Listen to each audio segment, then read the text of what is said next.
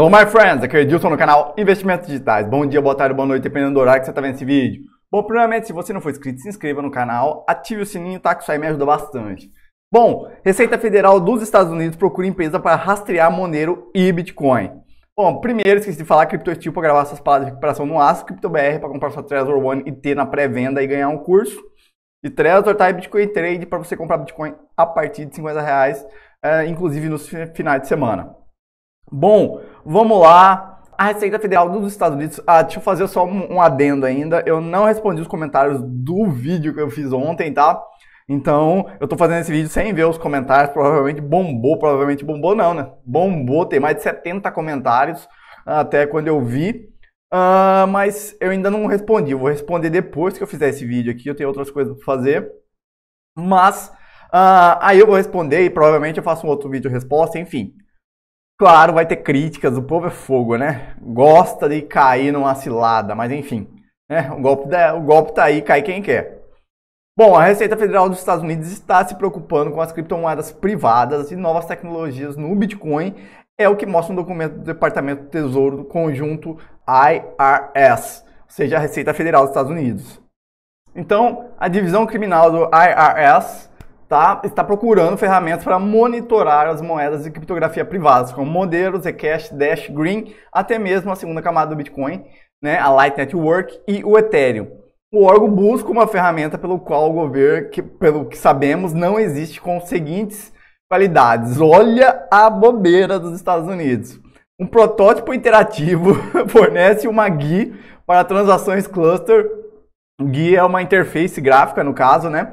Uh, envolvendo usuários semelhantes fornecidos por empresas análise, Cybertrace, Coinbase, Elliptic, mas com moedas de privacidade e tecnologia de ofuscação. Associação distribuída de endereços de usuários, indivíduo, indivíduos ou entidades suspeitos ou conhecidos por envolvidos em atividades nefastas. Fornecer uma biblioteca de endereços de razão distribuídos associados a nomes de usuários envolvidos em atividades nefastas conhecidas como suspeitas ou suspeitas, né? Fornecer OS INT, informações de pesquisa sobre usuários identificados, possui mecanismo de compartilhar pesquisas investigativas e entre investigadores, capacidade de importar e exportar dados investigativos em vários formatos de arquivo, por exemplo, CSV e JPG, e uma estimativa do, do custo e retorno do investimento no ROI. Olha aí, eles querem um retorno de investimento, ou seja, quer pegar as moedas da galera, Beleza, se o cara cometeu um crime, vamos supor, enganou alguém ou alguma coisa desse tipo, beleza, né? A crime é uma coisa, você ter criptomoedas é outra e ter querer sua privacidade. Isso aqui são duas coisas bem distintas. O Bitcoin não te dá o direito de você fazer qualquer coisa que você quiser. E sim de você manter o seu dinheiro longe das garras do governo, que é isso que a gente quer. Não para cometer crimes, igual eu falei. Então, a divisão criminal responsável por investigar possíveis violações criminais de lei de impostos, lavagem de dinheiro, sigilo bancário e crimes financeiros relacionados, a CI é líder global em investigações criminais cibernéticas envolvendo criptomoedas e vários ativos digitais, afirma o documento. Então, a agência governamental, no entanto, deixa claro que a requisição é meramente informativa e não necessariamente demonstra um comprometimento no desenvolvimento de qualquer solução. Falta de participantes? Bom, Provavelmente a RRS não verá muitos concorrentes no rastreamento de algumas moedas. Apesar das análises monitorar o Bitcoin, uh, Bitcoin Cash, até mesmo o Zcash Dash, não existe solução para análise da Light, Lightning do Bitcoin, muito menos para a criptomoeda Monero. Como já expliquei, a Light Network é a segunda camada do Bitcoin. Você cria canais, tá? E você pode transacionar entre os canais. Só que o canal final, vamos supor, eu tenho eu tenho uma conta uh, numa exchange de fora, sei lá, a Binance. E a Binance tem, tem uma conta com a Amazon, mas eu não tenho a conta na Amazon. Eu posso, através do canal da Binance, fazer a compra na Amazon, mas a Amazon não sabe que sou eu. Bom, no caso a loja vai saber porque eu vou dar meus dados, né? Mas se eu dar um dado terceiro, não vai saber se sou eu. Ou se eu for pagar outra pessoa, ou terceiro, não tem como o terceiro saber porque ele vai ser um intermediário, não vai ser a pessoa final e não vai dar para saber as rotas do canais. E uh, por isso que é sempre bom isso aí na Light Network. No Bitcoin, eu sempre falo não reutilizar o mesmo endereço. Essas ferramentas de pesquisas e análise, que são exploradores de blocos, podem associar o seu IP a tal endereço. Tipo, se você pesquisa muito o endereço. Qual é a solução? Gerar novos endereços cada vez que você vai receber. Com isso, uh, diminui a chance de qualquer empresa de análise fazer né, um rastreamento das suas transações. Teoricamente, saiu da, da exchange é praticamente impossível saber para qual carteira você enviou. Claro, se você envia muito para uma exchange ou outra do mesmo endereço, a exchange pode associar esse endereço a você. Mas aí tem que entrar com uma ação ah, para poder pedir quebra de sigilo, investigação, enfim. Ah, inclusive, recentemente, voltando aqui à reportagem, tá? Inclusive, recentemente, o ISIS trocou Bitcoin por Monero para proteger a privacidade de doações da organização terrorista. Óbvio, isso aí é crime, né? terrorismo tem que ser combatido, né? E não foi para isso que foi criadas as criptomoedas. As criptomoedas foram criadas exclusivamente para sair do sistema financeiro normal, das garras do governo, tá? Mas não para cometer crimes. Então, isso aí tem que ser bem explicado tanto de pirâmide financeira, igual ao terrorismo, né, sequestro, qualquer outro tipo de crime, uh, as criptomoedas não foram criadas para isso. Foram criadas para transacionar sem o governo querer meter o bedelho. Só isso. Tá? Inclusive, se você transformar em reais ou na moeda local, o governo vai saber.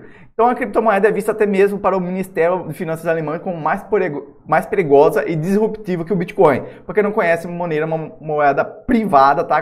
com a privacidade muito mais alta que o Bitcoin. Ela embaraça os endereços na hora de enviar. Então, ou seja, o terceiro que está recebendo não sabe quem enviou. Então, ela é muito usada na Darknet. E a Monero é o segundo par mais utilizado na BISC, né? A exchange descentralizado que eu já mostrei aqui no canal. No Brasil, a Monero ainda continua ganhando espaço. Recentemente foi adicionado a uma corretora de origem chinesa chamada Nova Dax com o par real. Aí, Deus, você tem Monero? Tem, mas tem um pouquinho só. Uh, meu, meu interesse maior é no Bitcoin. Eu vou deixar essa reportagem na descrição do vídeo, tá? Como eu falei, eles estão procurando jeitos de rastrear, mas não vão conseguir.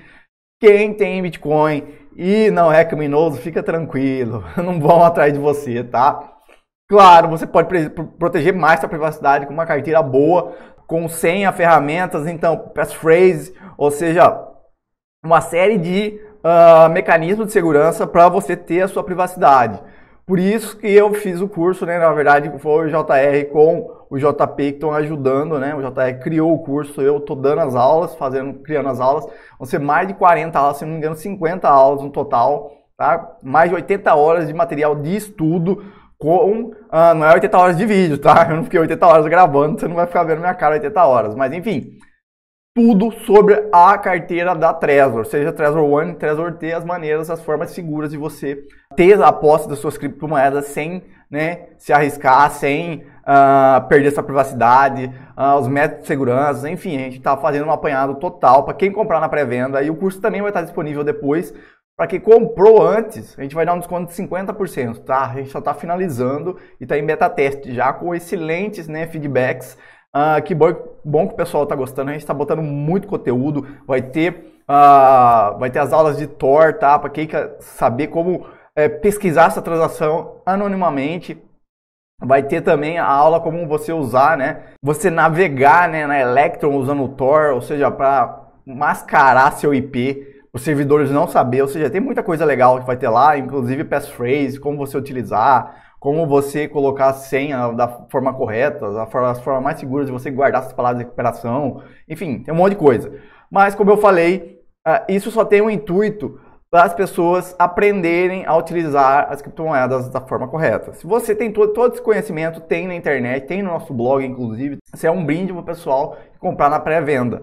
Inclusive está agendada para agosto, tá? Para a gente fazer os envios. Gente, o envio vai ser enviado, o envio, o envio da Trello, do curso vai ser junto com a Trezor. A gente tem alguns beta testes agora, foi enviado no e-mail de alguns uh, compradores para se eles queriam testar, né, com dando um feedback para a gente. O feedback está sendo bem positivo e a gente está terminando as aulas. Beleza? Então, vamos tentar rastrear, mas fique tranquilo, Bitcoin, se tem umas práticas de segurança, né, não, não reutilizando endereços, não deixando exposto, não falando que você tem Bitcoin. Tá? Isso aí são coisas que você tem que ter em mente. Comprou criptomoeda é igual um cofre. Você não fala que você tem cofre em casa, você não fala que você tem Trezor, você não fala que você tem Ledger. Enfim, são medidas de segurança que eu já falei aqui e o povo deixa passar isso. Cara, Não pode. Você tem que ter a sua privacidade preservada, seus dados, enfim. Tem que tomar muito cuidado hoje em dia, beleza? Então é isso. Espero que você tenha gostado desse vídeo. Se você gostou desse vídeo, dê um joinha, se inscreva no canal, ative o sininho, tá? Que isso aí me ajuda bastante. Como sempre falo, saúde paz, correto, de qualidade. Fui. Sim, eu vou tirar a barba, mas só amanhã.